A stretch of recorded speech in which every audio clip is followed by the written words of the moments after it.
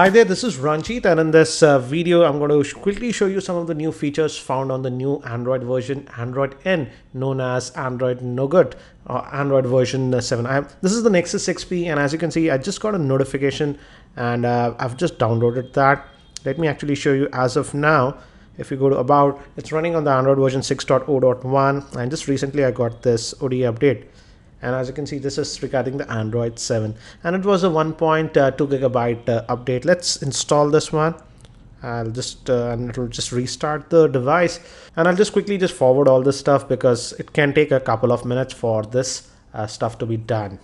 And by the way, if your Nexus device didn't get this update, don't fret. Uh, it should come uh, in the next couple of days. It's being uh, rolled out in stages for Nexus 6P, Nexus 5X, also the Nexus uh, tablet. Sadly, the Nexus uh, uh, 5 is not going to get this Android N update. And this update procedure took about 9 minutes, so you have to be patient.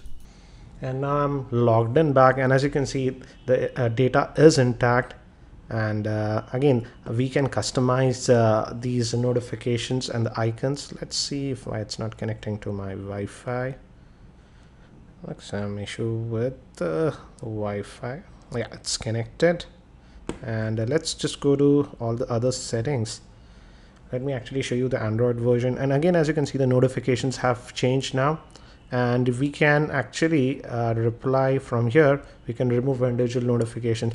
And in fact we can uh, interact with a lot of uh, notifications from the pane itself. For example for messaging apps we can reply directly from here. But let's look at the android version. As you can see the menu layout has changed a little bit. It's almost the same but the uh, typography has changed. It's a smaller font now compared to the earlier one.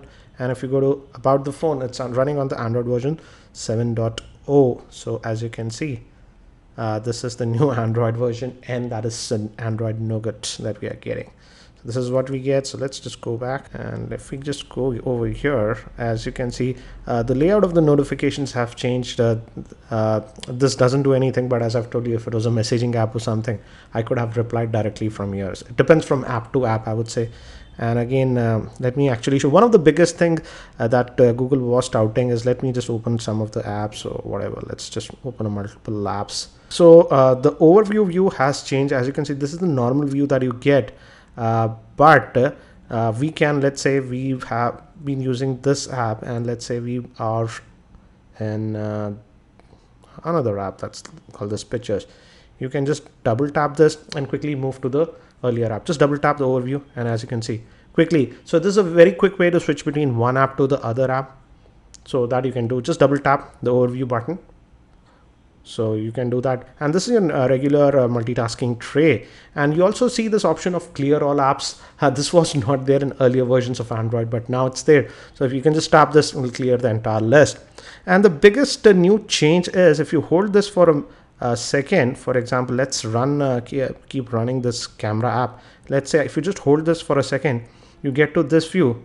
And this is the new multitasking uh, view that we get. So you can resize it and again it gave a warning that not all apps might work. But again this is native functionality. So this is the new split screen multi windows uh, sort of functionality that you get. And uh, this, this, works really uh, well i would say. So you can just hold this and let's say it says this app does not support split screen. So again uh, as android nougat is pretty new. Uh, so again not all apps might support it. For example let's try see it didn't work because it says that app does not support the multi-window option. So as of now yeah the developers have to work. For example uh, it's showing us some of the apps don't work with the multi-window so you have to be a little bit uh, wary about that. Just hold this for a second. Get to the multitasking.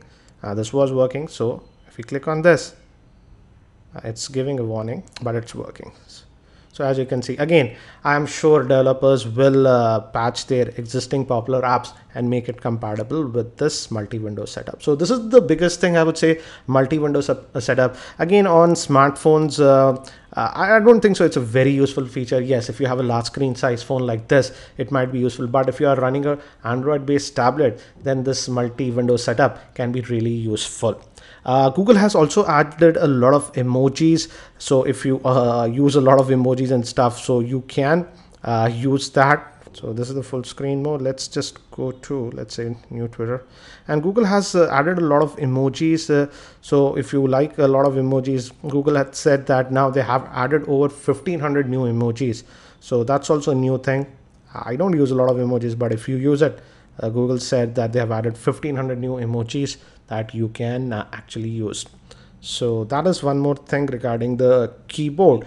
And regarding the notifications as i've already told you uh, if you get some notifications uh, for messaging apps and stuff you can directly interact directly from here. This is a non-swipeable but again you can go to the settings and here you can see to show the notification you can block that notification or whatever directly from here. So again lots of tweaks that you are finding and you can also go here and edit your quick toggles. For example let's say uh, you want this data saver option you can uh, drag it over here and uh, add to the tiles. Uh, moving to data saver option this is a new thing that uh, google has added. Uh, google says that uh, you can now restrict data uh, with the new data saving option. And uh, particularly if you are running on a mobile data plan which does not have a lot of data uh, this new data saver option if you enable it uh, it will restrict the background data. So again if you have limited uh, data plans it can be uh, useful again, uh, Android uh, Nougat will be rolling out for obviously Nexus devices like the Nexus 6P, Nexus 5X, Nexus 6, and even the Nexus tablet. And as per what rumors that we are hearing, LG V20 will be the first Android device to come out uh, with the Android Nougat. Uh, the new Nexus devices are also supposed to come out very soon, but Google hasn't announced any uh, time frame.